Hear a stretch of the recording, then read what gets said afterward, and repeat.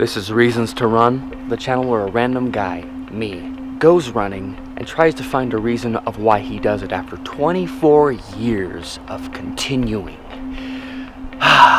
Let's go find one.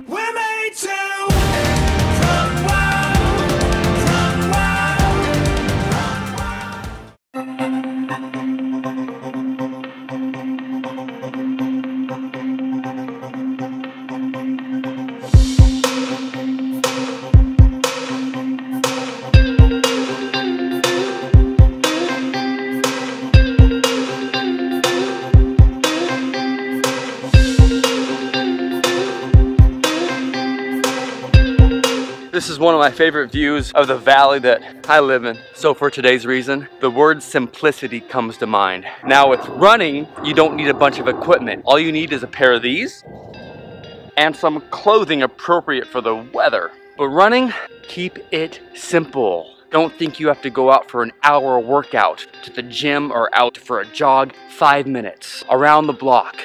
That's all it takes while you start. And that ignites a passion within you to get in shape to start running. I started with a mile when I was 12 years old, to school and back from school. And over time, I built that mileage up. Start simple.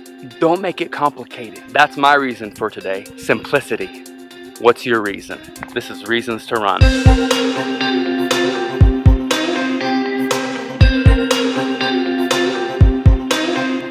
I just had a car pass me and he came around a corner and I was like this.